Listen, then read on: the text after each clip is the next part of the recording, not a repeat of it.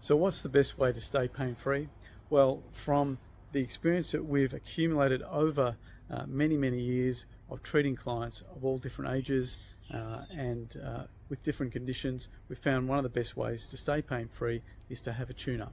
So, much like you would take your car in for servicing to keep it running well and prevent it from breaking down, you will have a, a tune up to keep you well and prevent recurrence of your condition.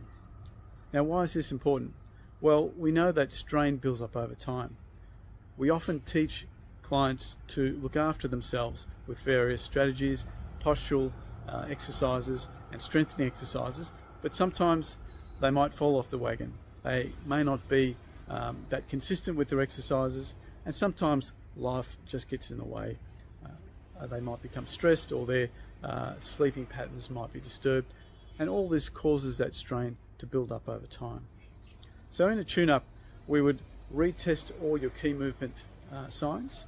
We'd treat that strain, uh, get it back to a, an optimal level or reduce that level of strain and progress your exercises, all to keep you well, uh, moving well and performing at your best.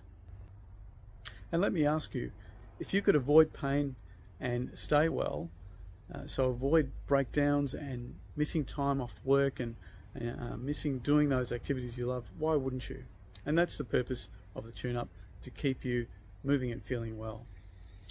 Now, if you're interested in our tune up program, please speak to your physio.